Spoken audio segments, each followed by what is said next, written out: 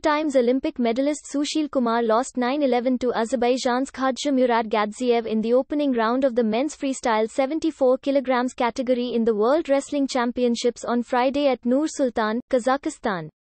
Now, Sushil has a chance to win a medal through repechage, should his opponent reach the final.